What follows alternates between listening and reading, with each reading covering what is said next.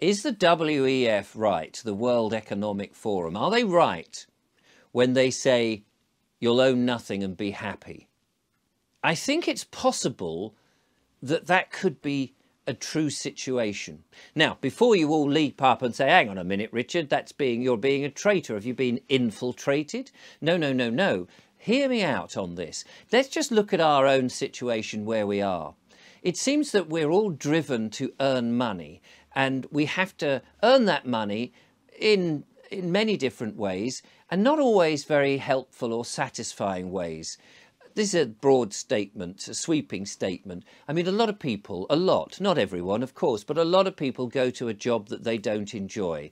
They are interacting with people who ha have a hierarchy which is forcing, eh, more and more it seems today, pressures on individuals. They're getting stressed, they're trying to earn enough money to pay a mortgage, to pay for the car, to pay for perhaps education for the children, to bring food on the table. It's hard work. You've You've got childcare to pay for whilst both of you are off at different jobs. You're not, you don't see each other in the same way. And then in the evening, you're shut away in different rooms at the house, watching screens, putting your VR headsets on, you're on the computer, on social media, and, and the whole family is sort of spread apart in, and you barely come together. And there's this sort of misunderstanding what the children want from life and the generations before when no no no that we didn't do that and all of that. Life is quite difficult at the moment. It's quite stressful. It's it's it's annoying in some ways. It's not so much the joy that we think life should be but more of just an existence.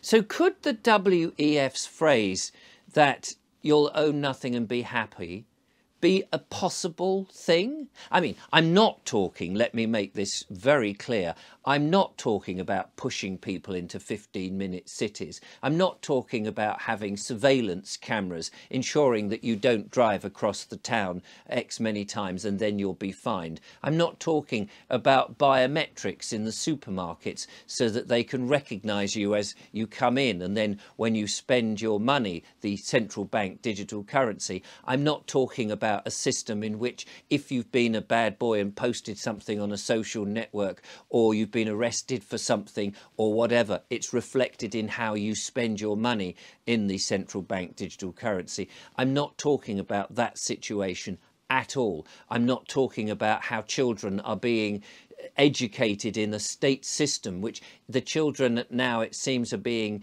uh, sexualized very early on in their life, and that progressive uh, knowledge is being given to children so that the families are becoming even more atomized than before.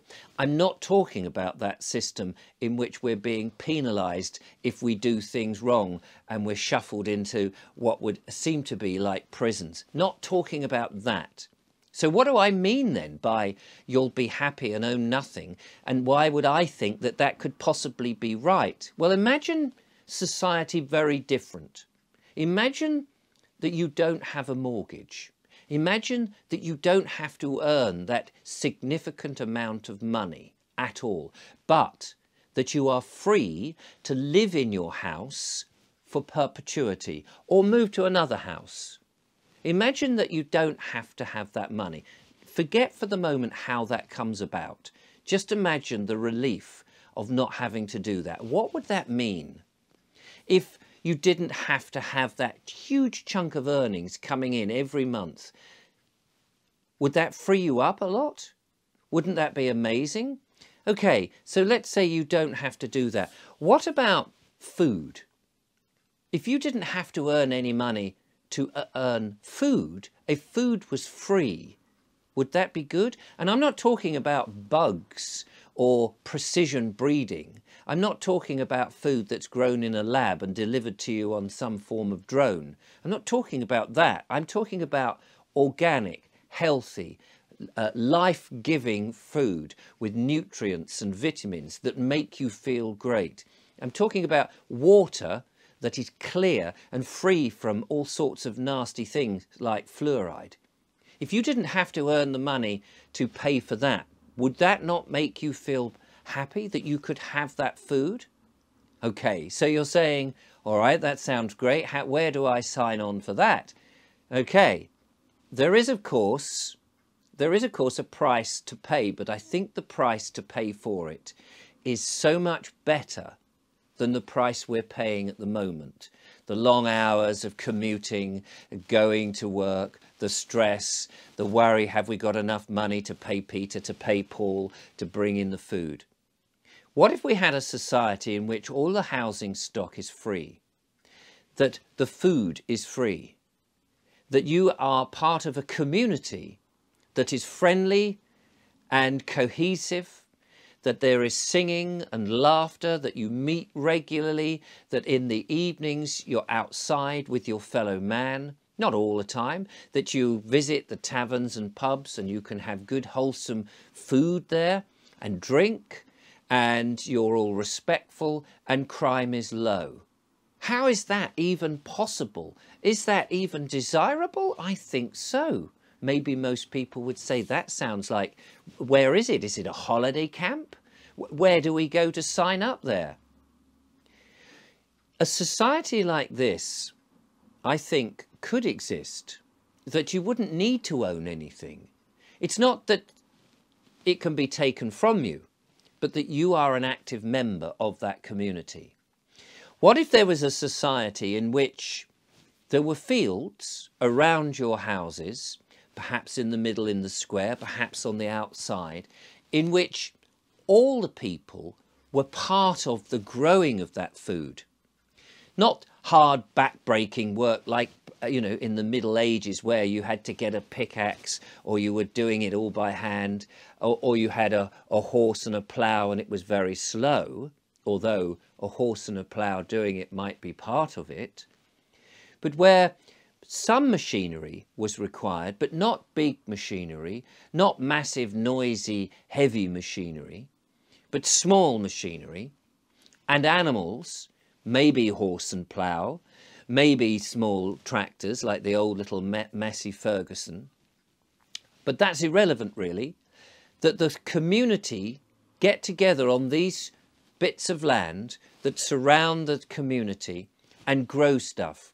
They toil on the soil, they prepare it, they sow it, they grow it and they harvest it together. And as the, each of these little elements go, they celebrate and they come together that there are many people back on the land engaging with nature, watching as the as the bunnies gimble around, as the foxes are looking for their prey, as the birds and the butterflies and the bees are all swarming around, enjoying life, as you watch nature unfolding around you, you see the wonderful trees that blossom and bloom in, in a cacophony of leaves that there, as a cohesive society, you all are working together on the land to bring the food to your houses and table. Though you may not be in your houses very much because you may be down at all the different taverns and meeting places where perhaps you're having a barbecue this night to collectively or a barn dance or various things that are going on that you're helping with bringing in the cows and the milking, that you're helping with the sheep shearing when it comes to that time, that all around there are these small independent businesses, people doing business but not necessarily generating money, but helping like somebody making shoes and clothes and um, all sorts of stuff, a blacksmith perhaps forging, not just in the old-fashioned way, although they could do, but they can use modern technology because we are quite clever now. We have all this knowledge and technology. We can speed the process up a bit. So we have labour-saving devices for those, whole, those hard things uh, so that it saves us having to get too tired. But people, people working in a community together where you don't have to go on these long journeys every day.